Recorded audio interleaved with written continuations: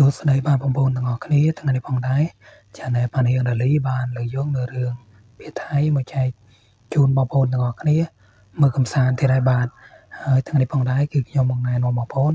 ឲ្យមើលរឿងភាសាថៃដែលមានចំណងជើងថាលបែងស្នេហ៍ចាប់គូរឿងហ្នឹងគឺល្អមើលខ្លាំងមែនទែនបងប្អូនហើយបើសិនជាបងប្អូនចង់ទស្សនានៅ រឿងហ្នឹងសូមបងប្អូនទាំងអស់គ្នាធ្វើតាមការណែនាំរបស់ខ្ញុំទៅ គឺបងប្អូនទាំងអស់គ្នានឹងបានមើលវាបន្តឬក៏វាបញ្ចប់ហើយជាមុនដំបូងគឺបងប្អូនទាំងអស់គ្នាគ្រាន់តែចូលមកកាន់ Channel របស់ខ្ញុំហើយបងប្អូនទាំងអស់គ្នា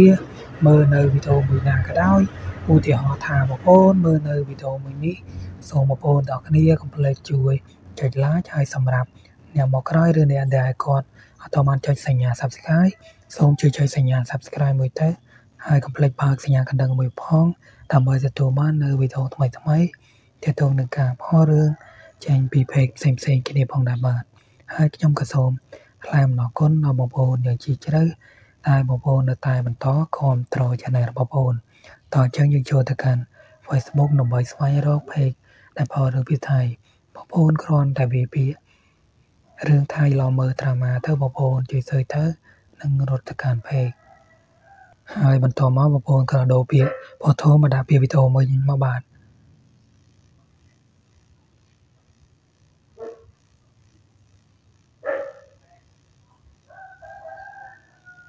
ថ្ងៃនេះផងដែរគឺខ្ញុំមកណែនាំបងប្អូនឲ្យមើលរឿងភាសាថៃ